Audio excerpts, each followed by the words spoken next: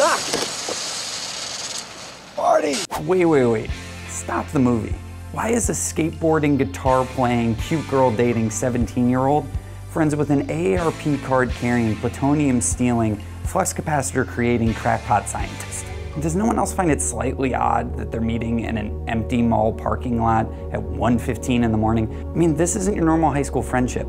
They don't copy each other's biology homework, they don't complain about girls, they don't go to movies on Friday nights. No, Marty McFly and Dr. Emmett Brown have more of a bros don't let bros steal plutonium from Libyan nationalists kind of thing going on. Doc, you don't just walk into a store and, and buy plutonium. John Mulaney hilariously pointed this out in his Netflix special, The Comeback Kid. Who's his best friend? A disgraced nuclear physicist. All right, proceed. And he's right.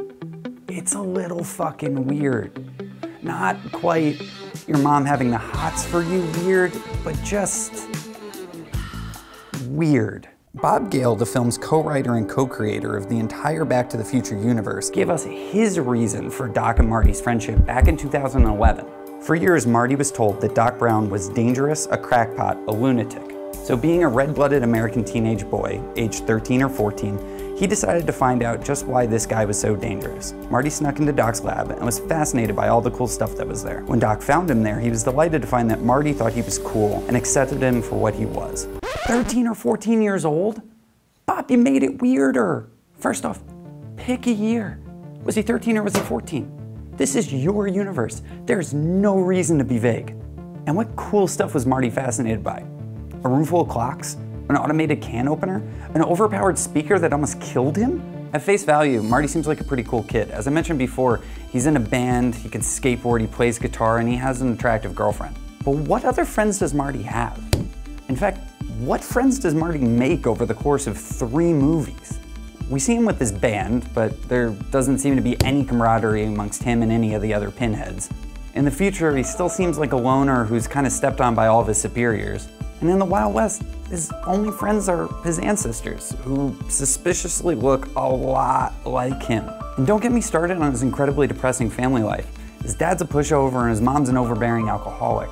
But what does Marty truly love? Music. The franchise starts with Marty getting blown away 30 feet by a speaker. He brainwashes his father with heavy metal music, and he lives his dream of performing at the high school dance by playing Johnny B. Goode. When we first encountered Doc Brown in the past on November 5th, 1955, you might not notice a saxophone hanging in the background of his workshop. So let's say Bob Gale is right. They met innocently early in the 1980s, two loners who want so much more from life bond over their mutual love for music. One stuck with the shitty home life, trying to grasp his future.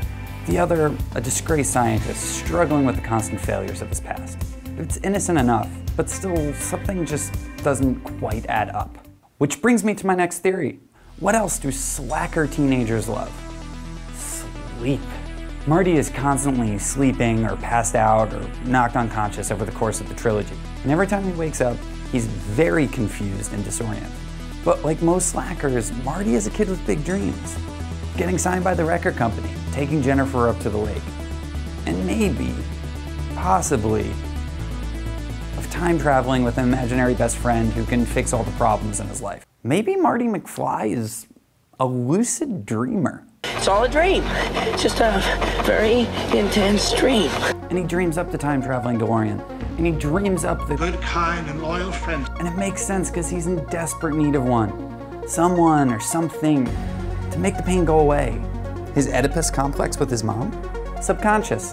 His triumphant strut across the Hill Valley High School auditorium stage? Pure aspirational imagination. If you put your mind to it, you can accomplish anything. How else do you explain Mr. Strickland never aging? Well, it's either that or Marty met Doc innocently, as writer Bob Gale said, around the age of 13 or 14, and he's been hanging around Doc's workshop for three to four years and somehow never noticed or heard Doc talk about his 30 year mission of building a time machine? Are you kidding me? In all of this time around his best bud, Marty never heard one mention of an infamous flux capacitor? Never once saw a DeLorean? Are we really supposed to believe that the inquisitive Marty McFly never asked Doc what he was working on? Or that Doc Brown wouldn't tell his only friend that he invented time travel? I call bullshit. Marty McFly is asleep, dreaming of sweet Huey Lewis and the News tunes, time traveling in a dope DeLorean with his kooky best friend Doc Brown, fixing the past in an attempt to make his actual real life lonely present slightly more tolerable. Too dark? Okay. Well, let me go back and touch on that whole thing with Marty and his mom for one second.